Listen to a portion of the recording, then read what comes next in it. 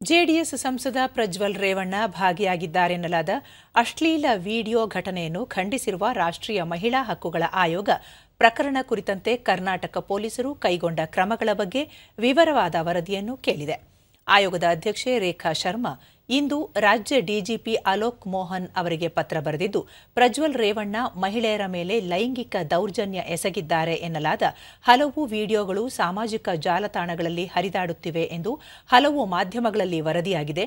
ಈ ಪ್ರಕರಣದಲ್ಲಿ ರಾಜ್ಯ ಪೊಲೀಸರು ತೆಗೆದುಕೊಂಡ ಕ್ರಮಗಳ ಕುರಿತು ಮೂರು ದಿನಗಳಲ್ಲಿ ವರದಿಯನ್ನು ಸಲ್ಲಿಸಬೇಕು. ಘಟನೆಯನ್ನು ಆಯೋಗ ಬಲವಾಗಿ ಖಂಡಿಸುತ್ತದೆ. ಇಂತಹ ಘಟನೆಗಳು ಮಹಿಳೆಯರ ಸುರಕ್ಷತೆಗೆ ಅಪಾಯವನ್ನುಂಟು ಮಾಡುತ್ತದೆ ಮಾತ್ರವಲ್ಲದೆ ಅವರ ವಿರುದ್ಧ ಅಗೌರವ ಮತ್ತು ಹಿಂಸೆಯ ಸಂಸ್ಕೃತಿಯನ್ನು ಬೆಳೆಸುತ್ತವೆ ಎಂದು ಹೇಳಿದ್ದಾರೆ.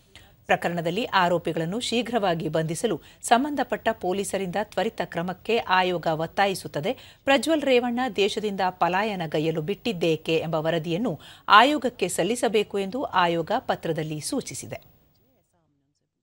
आ, उन्होंने एक्शन क्यों नहीं लिया इतना लेट क्यों लिया अगर पहले से पता था तो एक्शन क्यों नहीं लिया गया आ, राज्य महिला आयोग के स्टे उस पे कंप्लेंट पे उन्होंने एसआईटी गठन की पुलिस को कैसे नहीं पता चला? अगर राज्य महिला आयोग को पता चला था। तो ये जवाब तो कर्नाटका सरकार को ही देना है।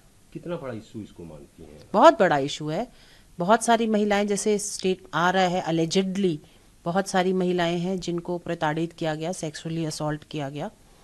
एक दो आगे भी आई हैं कंप्लेंट भी की है।